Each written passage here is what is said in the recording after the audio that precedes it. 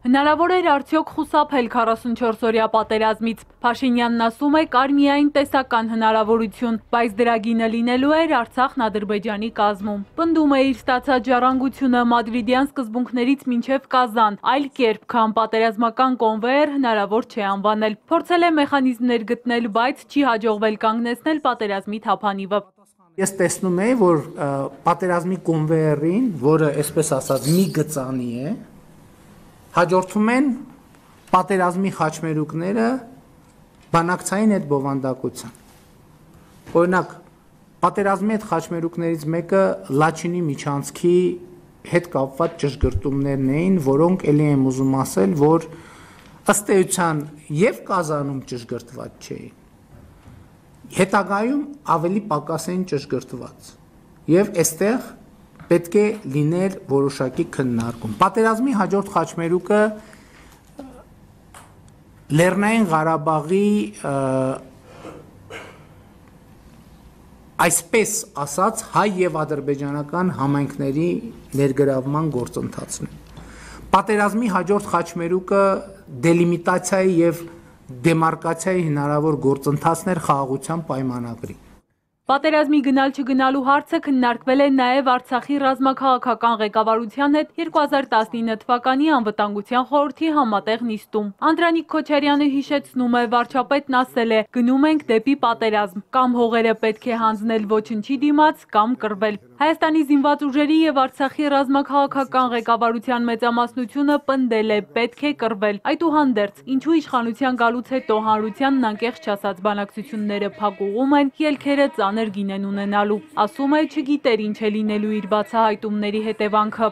Այդ ասելիքը ասելու հետևանքը լինելու էր պատերազմ, թե լինելու էր խաղաղություն։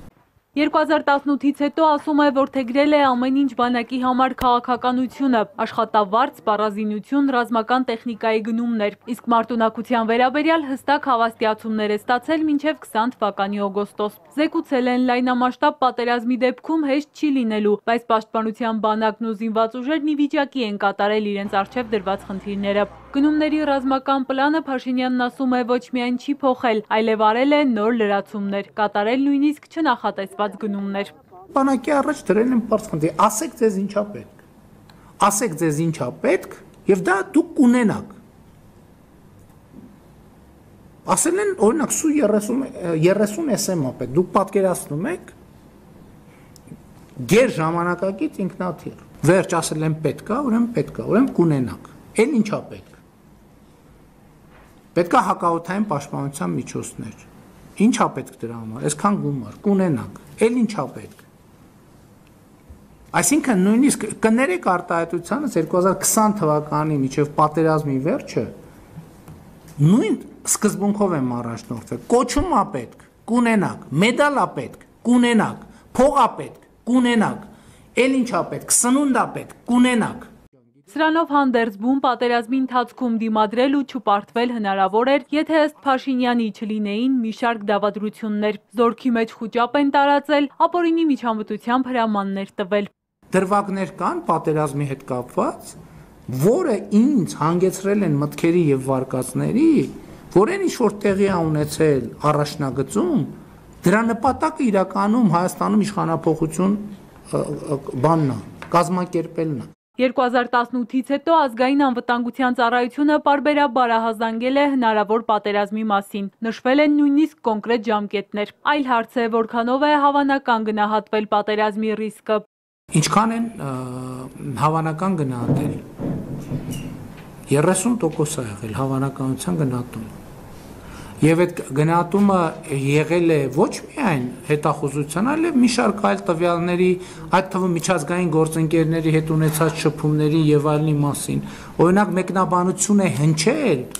մեկնաբանություն է հնչել, ինձ ուրիշ բան էլ է զեկուցվել,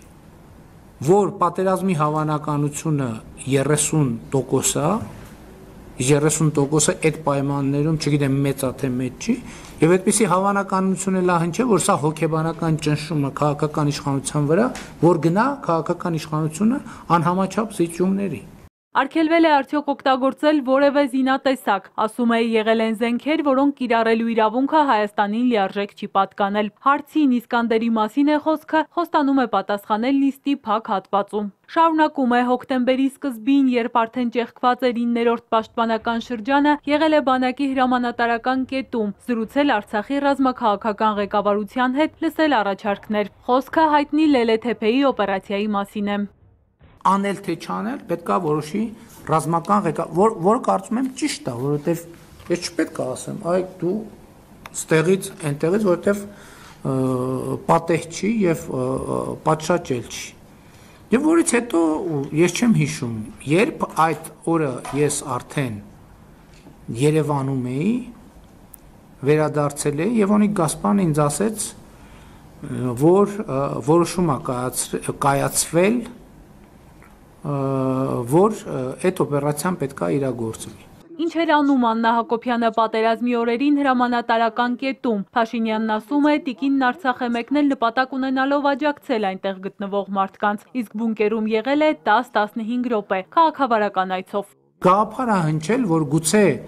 իմաստ ունի, որ 10 րոպեով գնանք նաև, որպեսզի հրամկազմը տեսնի, որ վարչապետի կինը գտնվում է Հայաստանի վարչապետի գինը գտնվում է Ստեփանակերտում։ Եղել են մարդիկ, ովքեր մտածել են, որ դա դրական բան կունենա, ներգործություն կունենա, որ մանավանդ այդ ծանր մտնոլորտում, որ վարչապետի ընտանիքի անդամը